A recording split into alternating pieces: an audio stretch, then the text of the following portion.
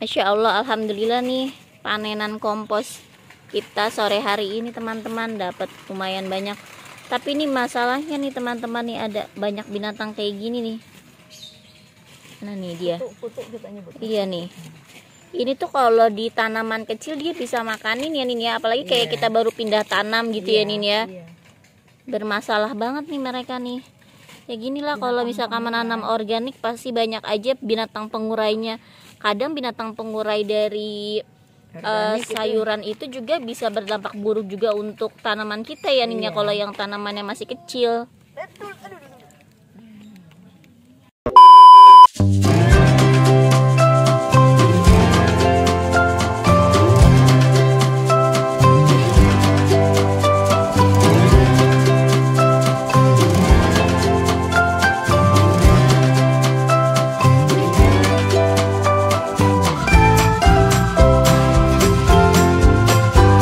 Halo, assalamualaikum teman tanam. Selamat datang kembali di kebun organik Nin. Untuk teman-teman yang baru datang berkunjung ke channel kami, selamat datang. Jangan lupa mohon bantuan like, komen, dan subscribe-nya ya. Sore menjelang maghrib nih di sini Nin lagi tumbuk-tumbuk cangkang telur nih teman-teman. Nih masya Allah kita punya cangkang telur sampai sepenuh ini ya Nin ya. Ini hasil dari limbah dapur Nin dan ada juga dari tetangga nih teman-teman. Tetangga udah pada tahu Nin itu nanam sayur organik. Suka ada tetangga yang anterin sampai satu kantong plastik. Ini alhamdulillah banget. Ini udah dihancur-hancurin nih teman-teman. Iya, tinggal Iya, tinggal ngehalusin aja jadiin bubuk.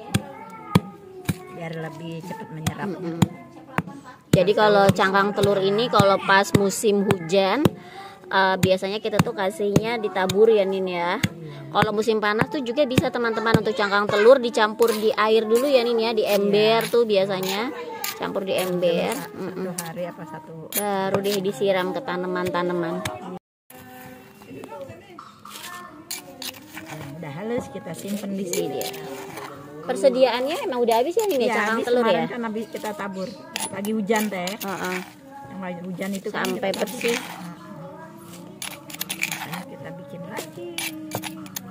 Cari waktu yang sempet. Kalau cangkang telur nih kita tuh numbuknya pas banget kalau lagi santai-santai ya ini ya. Sebenarnya. Kalau pas lagi riwo tuh cari yang lain. Kalau lagi buru-buru mau nanem ini tuh kalau kita udah lumayan santai. Ini ada apa nih maaf?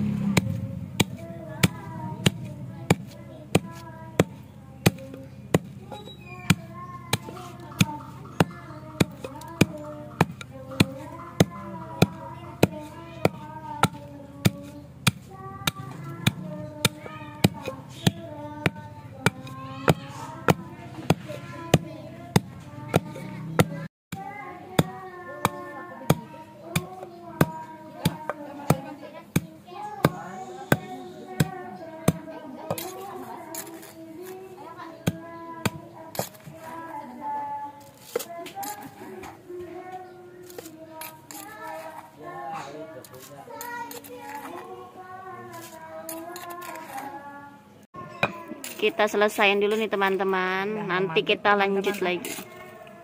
Di sebelah sini ini lagi panen kompos teman-teman nih. Alhamdulillah.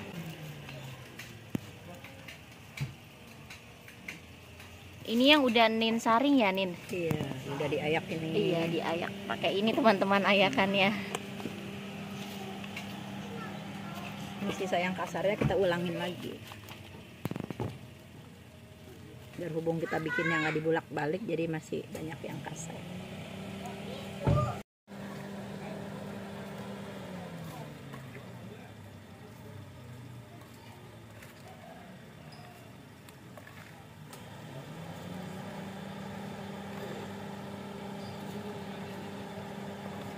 Binatangnya tadi ya. Binatang empuk kalau kita nyebutnya empuk ya. Kalau bahasa itu tuh apa ya nih namanya? urep Eh, urep kalau ut- itu mah ini tuh beli- bisa buat makanan ayam Nin. iya dibuat ayam buat ada yang malah, ikan malah ada yang itu loh Nin eh, Budidaya. membudidayakannya iya dibudidaya. urep kalau Mana ya?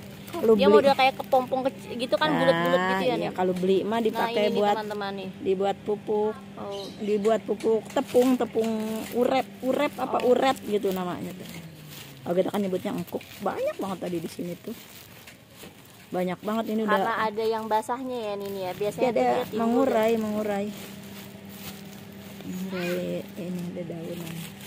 Lembab Teteh tuh pertama kali ngeliat binatang itu tuh sampai kaget banget tau Nin. Mm-mm. Tapi sekarang udah biasa. Biasa. Kalau di tempat kompos terus dia suka muncul. Mm-mm. nih ini mah kecil. Tadi mah banyak yang gede-gede dia nih teman-teman. Kecil ada yang yang gede-gede banyak tadi mana dia. Udah pada ke bawah kali. Biarin biar dia. Biar dia menguraikan. Mengurai lagi. Banyak banyak banget Masya Allah Alhamdulillah nih panenan kompos kita sore hari ini teman-teman dapat lumayan banyak. Tapi ini masalahnya nih teman-teman nih ada banyak binatang kayak gini nih. Nah nih dia? Kutu nyebut. Iya nih. Ini tuh kalau di tanaman kecil dia bisa makanin ya Nin ya. Apalagi kayak Iya. kita baru pindah tanam gitu ya Nin ya. iya. Bermasalah banget nih mereka nih. Ya gini lah kalau misalkan menanam organik pasti banyak aja binatang pengurainya. Kadang binatang pengurai dari eh, Organik itu sayuran itu juga bisa berdampak buruk juga untuk tanaman kita ya Nin ya Iya. kalau yang tanamannya masih kecil. Tapi ya memang organik itu hidupnya berdampingan dengan pengurai nih binatang-binatang kayak gini nih.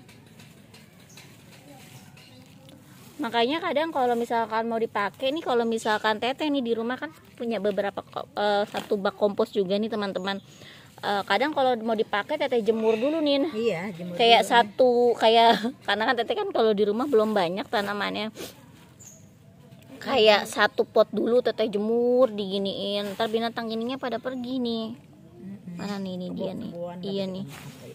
Malah kadang suka ada kayak anak-anak kecoa juga nih. iya anak kecoa Iya. kecoa mending Oh, larinya gencer banget. Iya. banyak binatang-binatang Dari itu dari hasil sampah di pekarangan bisa menghasilkan nih nih nih dia bisa menghasilkan kompos lumayan banyak nih teman-teman Masya Allah. Campuran nih kecoa kecoa. Iya ini ini nih, nih di tempat teteh yang banyak banget. Bingung sampai kalau bingung. ini apa dari buah teh ini dia Iya. makannya buah.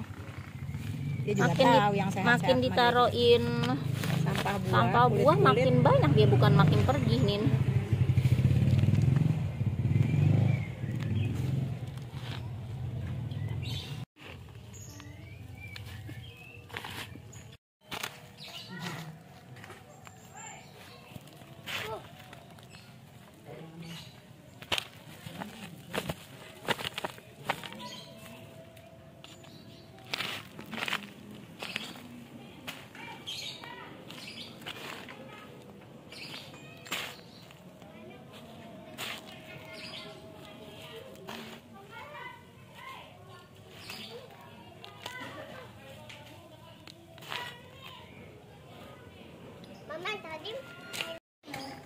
selesai panen kompos nih.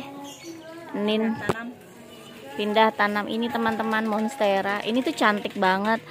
Tapi kalau di sini terlalu besar dia menghalangi sayuran ya Nin ya. Sedangkan tahun eh sedangkan tanaman sayur itu butuh penyinaran matahari yang yang cukup. Jadi ini mau ditanam di pot aja Masya Allah cantik banget ya Nin. Ini pada masanya eh, kita tuh jual ini tuh bisa ratusan ribu ya Nin ya Iya. segini. iya Karena pada awal pandemi tuh kita sempat jual tanaman hias online teman-teman. Ini tuh yang eh, monstera tuh salah satu yang paling best seller. paling wow kita ikat dulu ya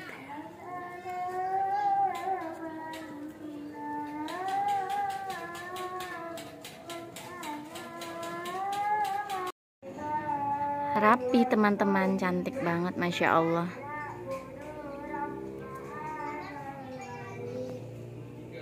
selesai teman-teman aktivitas kita hari ini.